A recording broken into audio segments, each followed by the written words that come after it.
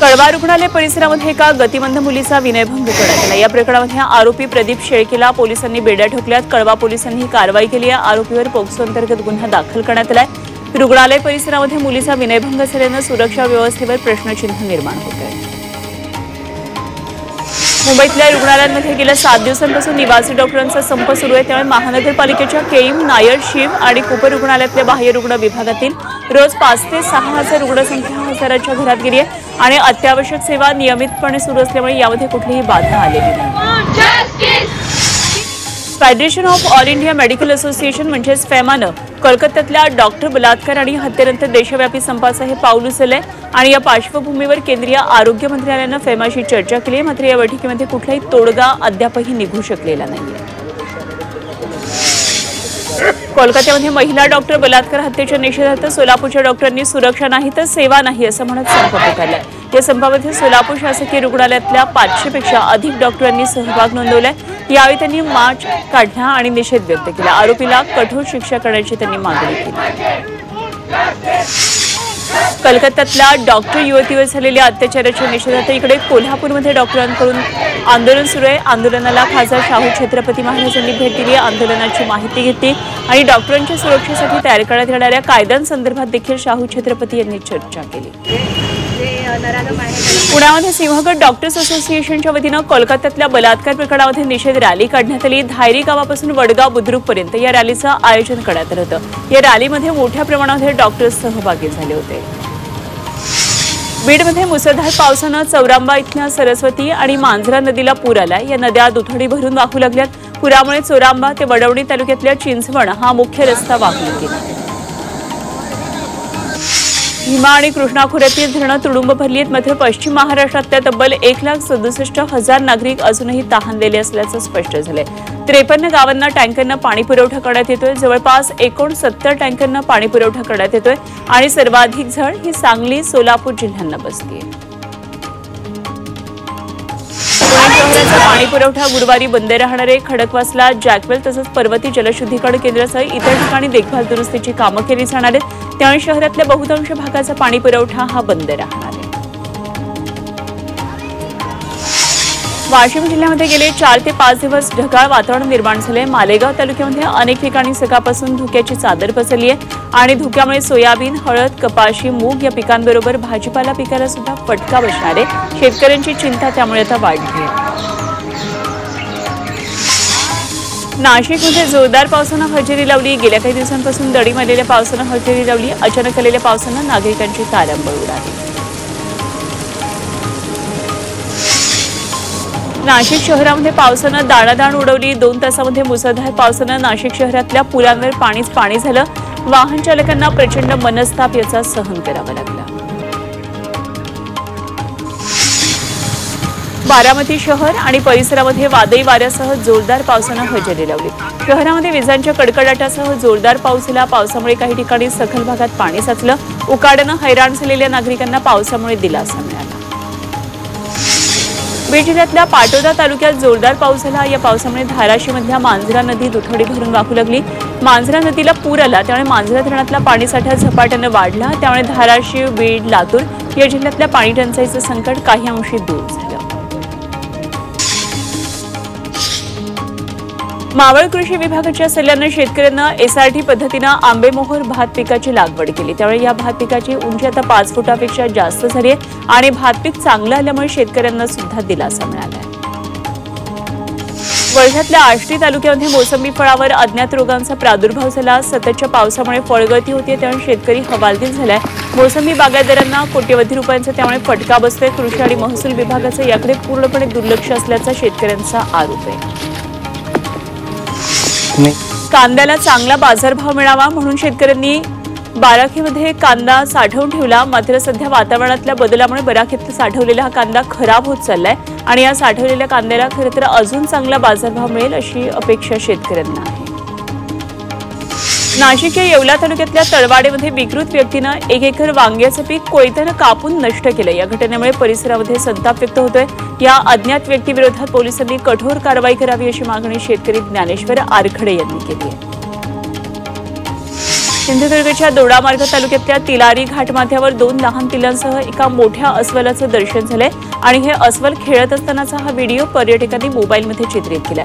त्यामुळे तिलारी खोऱ्यामध्ये पुन्हा अस्वलाचं अस्तित्व अधोरेखित झालंय. नाशिकमध्ये अवैध वास्तव्य करणाऱ्या महिलेसोबत नाशिकच्याच एकानं विवाह केल्याचा धक्कादायक प्रकार. समोर आलाय दोन दिवसांपूर्वी दोन महिलांसह तीन बांगलादेशींना अटक करण्यात आली होती. या महिला भारतात आल्या कशा याबाबत पोलीस सखोल तपास करतात.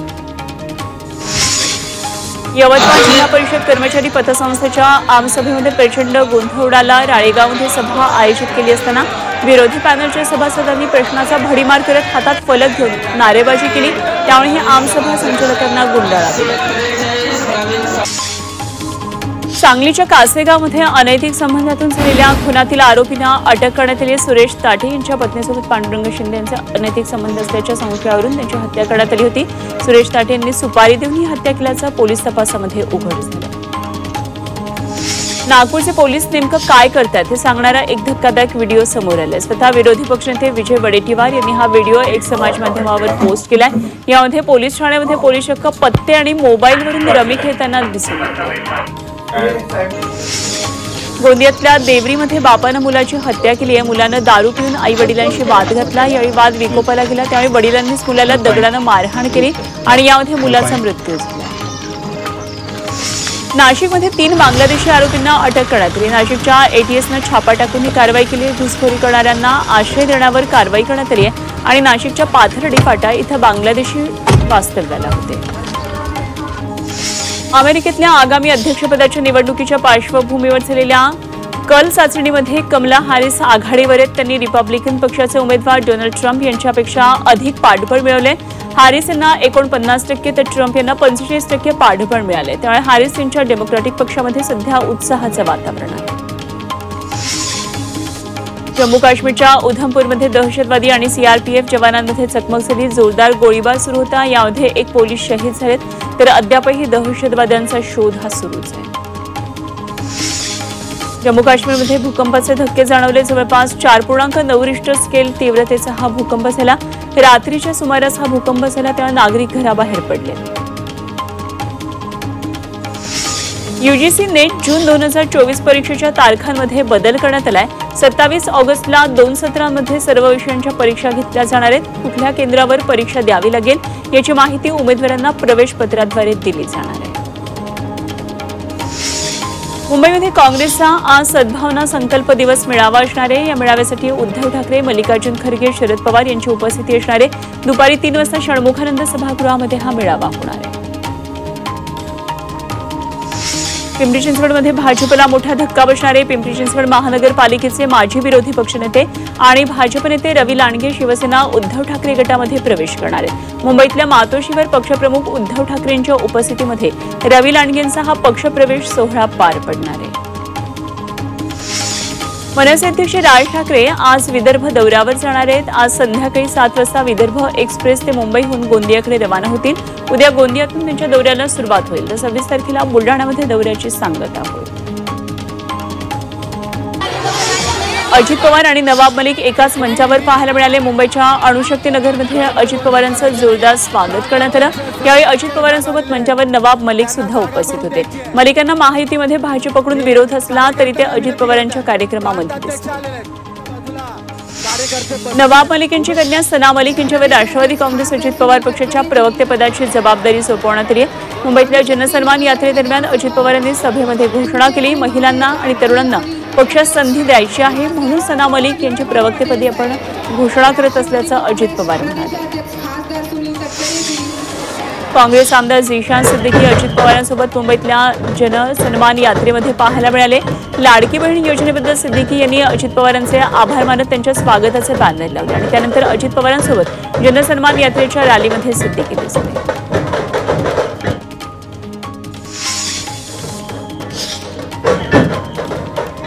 सिर्फ़ मोहब्बत की दुकान खोलने से कुछ नहीं होता। हमारे दिलों में भी मोहम्मद मोहब्बत की ज़रूरत आहे असं म्हणत काँग्रेस आमदार झिशान सिद्दीकी यांनी काँग्रेसला घरचा आहेर दिलाय।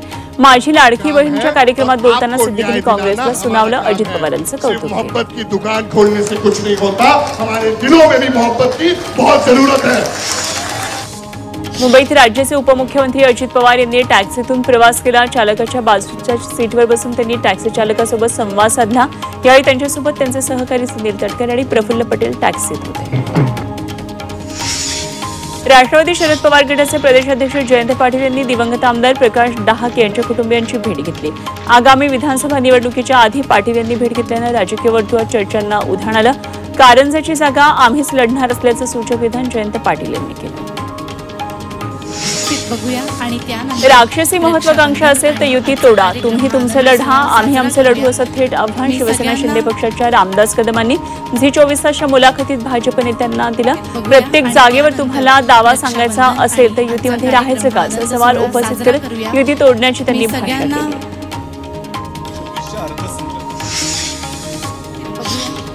उगाच वल्गना आणि गर्जना करण्याची गरज नसल्याचा सल्ला भाजप नेते प्रवीण दरेकर यांनी शिवसेना शिंदे गटाचे नेते रामदास कदम यांना दिलाय. आणि त्याचबरोबर तुम्ही काहीही बोलाल आणि भाजप ऐकून घेईल असं होणार नसल्याचा इशारा त्यांनी कदमांना दिला. दोन हजार एकोणीसमध्ये सरकार लवकर स्थापन न झाल्यामुळे राष्ट्रपती राजवटही लागली होती आणि राष्ट्रपती राजवट संपुष्टात आल्यानंतर विधानसभा गठीत झाली होती. त्यामुळे त्यावेळेपर्यंत कधी निवडणुका होऊ शकतात असं वक्तव्य मंत्री छगन भुजबळ यांनी विधानसभा निवडणुकीबाबत केलं. माढ्याची कुस्ती बारायला आल्याचं सूचक विधान अभिजित पाटील यांनी केलं. त्यांनी अजित पवार गटाचे आमदार बबनराव शिंदे यांना थेट आव्हान दिलं असं बोललं जाते त्यामुळे यंदा माढा विधानसभेची निवडणूक लढणार असल्याचे संकेत त्यांनी दिले.